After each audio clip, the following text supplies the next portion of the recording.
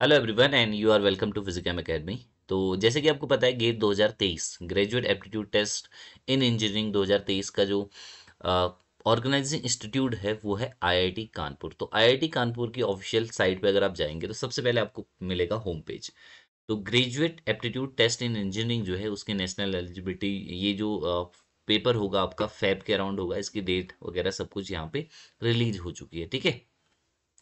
जो जो चीज़ें इसमें चाहिए कौन कौन से सब्जेक्ट के लिए होने वाला है, सब कुछ दिया है। अगर आप नीचे थोड़ा सा नीचे जाके क्लिक करेंगे, है ना थोड़ा सा नीचे जाके अगर आप ऑनलाइन गो ऑनलाइन एप्लीकेशन में क्लिक करेंगे तो वहाँ पे देखिएगा कि अभी जो है ऑनलाइन एप्लीकेशन यहाँ पे नहीं हुआ है। ठीक है ऑनलाइन रजिस्ट्रेशन अगर आपको करना है तो ऑनलाइन रजिस्ट्रेशन के लिए कब से स्टार्ट होगा? Online registration will open on thirty August यानी कि तीस अगस्त से आपका जो है ऑनलाइन रजिस्ट्रेशन यहाँ पे शुरू होने वाला है। ओके तो इसके बारे में समझ लीजिए, क्या है गेट के अंदर और क्या क्या चीज़ें आपको ध्यान रखनी है, सारी चीज़ें ध्यान रखिए। देखिए ओपनिंग डेट ऑफ़ कुछ इंपॉर्टेंट डेट्स यहाँ पे लिखिए।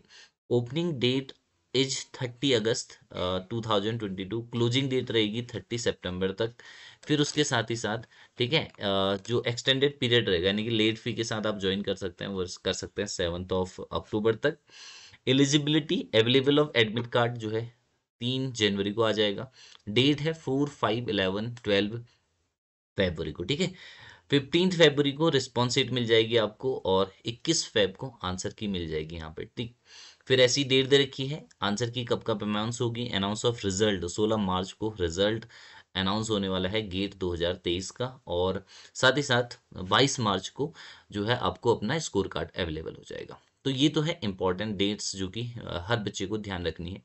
नोटिफिकेशन के लिए आप यहाँ पे देखिए नोटिफिकेशन भी आ चुका है इसकी date opening date ending date सारी की सारी चीज़ें यहाँ पे अवेलेबल है। होम पे हमने ये सारी इन्फॉर्मेशन मिली। गेट 2000 पेपर है ना? पेपर एंड सिलेबस सारे सब्जेक्ट के लिए दिया हुआ है, देखिए। अगर आप चाहो तो सिलेबस देख सकते हो कोड और उसके सामने सब्जेक्ट दिए हुए हैं। ऑलमोस्ट ये ट्वेंटी नाइन सब्जेक्ट आपको यहाँ पे दिख रहे होंगे जिनके लिए गेट का पेपर होगा।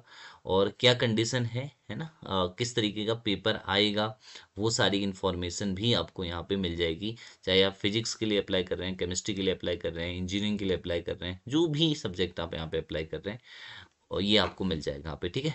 पैटर्न ऑलरेडी गिवन है ट्वेंटी नाइन यहाँ पे सब्जेक्ट मेंशन है तीन घंटे का पेपर होगा। Okay?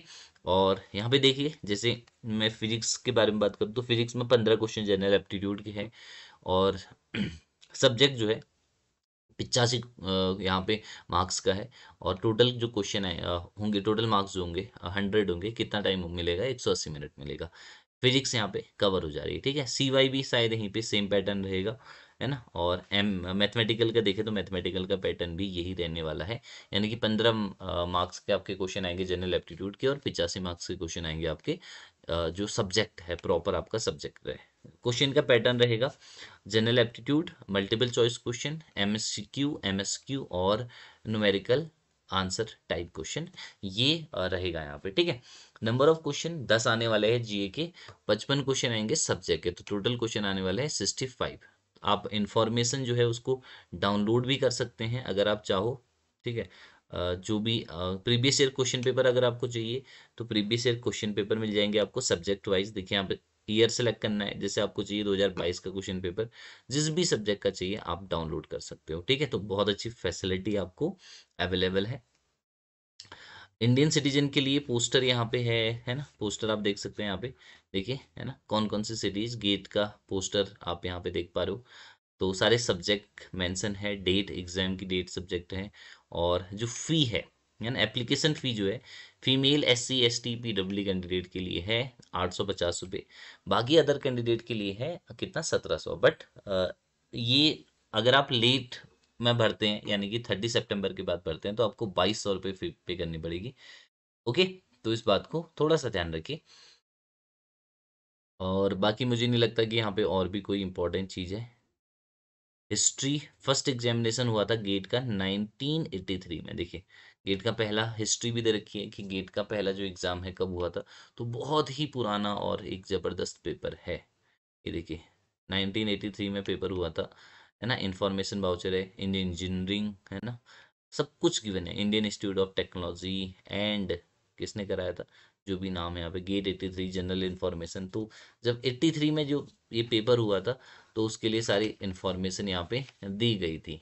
Okay information opportunities given है। द कैंडिडेट जो भी गेट एडमिशन जो है valid GATE score can be used for master degree and direct doctorate in engineering technology architecture science यानी कि पीएचडी डायरेक्टली आप कर सकते हैं। फाइनेंशियल असिस्टेंट भी मिलता है देखिए। क्वालिफाइड गेट स्टूडेंट को क्या मिलेगा? उनके मास्टर प्रोग्राम या अदर जो प्रोग्राम है उनके लिए uh, यहाँ पे क्या मिलता है? पीएचडी अगर आप करते हैं तो इकतीस हज़ार रुपये पर मंथ और अगर आप एम टेक करते हैं तो बारह हज़ार रुपये पर मंथ आपको मिलेगी। ओके रिक्रूटमेंट ये सारे जो प्राइवेट सेक्टर है पब्लिक सेक्टर है सॉरी इन सब में गेट के स्कोर कार्ड के आधार पे रिक्रूटमेंट होता है। ये अपॉर्चुनिटीज़ है, देखिए। एग्ज़ाम सिटी ऑलमोस्ट हर जोन में होती है है ना? एट मतलब ऑलमोस्ट आपको सभी जगह मिल जाएगा कि बहुत सारे जगहों पे यहाँ पे एग्जामिनेशन सिटीज़ आपको मिलेंगी। तो ज़्यादा टेंशन नहीं लेनी है। और एलिजिबिलिटी क्राइटेरिया हो गया डॉक्यूमेंट रिक्वायर अगर आपको फिल करना है तो डॉक्यूमेंट आपको सी जी पी वगैरह चाहिए होगा मास्टर डिग्री चाहिए फिफ्टी फाइव परसेंट के साथ। ज़्यादा कुछ चाहिए नहीं गेट के लिए। फ्रिक्वेंटली आस्क क्वेश्चन कांटेक्ट कर सकते हो तो ये सारी इन्फॉर्मेशन है गेट 2023 के बारे में। गो जब भी फॉर्म आएगा फिलअप करिए और अपडेटेड इन्फॉर्मेशन आपको मिलती रहेगी इस चैनल के माध्यम से। तो आपको क्या करना है सब्सक्राइब करना है फिजिकम अकेडमी के यूट्यूब चैनल को।